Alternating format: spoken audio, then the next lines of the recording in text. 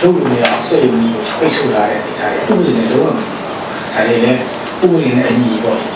ဘယ်လိုဆောင်ပြီးတော့ကျွန်တော်တစ်ခါကစီယုံနေတာပြီးဆောင်လို့တော့အောင်စီယုံရပြီးတော့မှဒီမှာမရဘူးဆိုတော့ဥပဒေဆောင်ရထိရောက်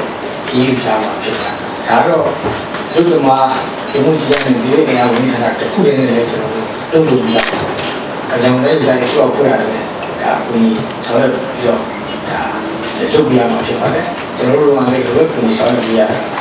ဒါပြင်မှာဖြစ်ပြီးတော့ပြည်သူလူထုကလည်းထောင်ထားနေပြီးတော့ဥပဒေနဲ့ဆောင်ရွက်လုပ်တာပြည်သူလူထုရောပေါ့မှာ